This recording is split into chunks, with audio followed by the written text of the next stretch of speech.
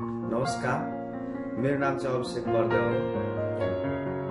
सम्पूर्ण नेपाली दाजुभाइ तथा दिदीबहिनीहरू जो युएस क्यानाडा अस्ट्रेलिया युके सबैमा बसोबास गरिरहनु भएको छ।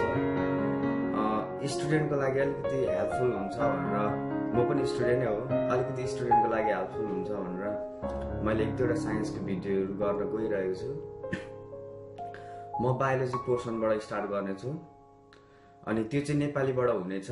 अनि त्यसको लागि चाहिँ गएर युट्युबमा गएर मेरो च्यानल सब्सक्राइब गरिदिनु होला।